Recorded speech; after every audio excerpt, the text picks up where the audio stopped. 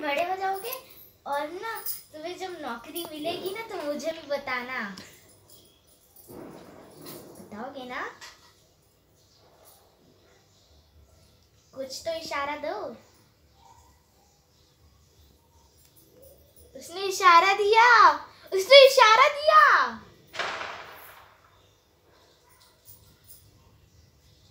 handshake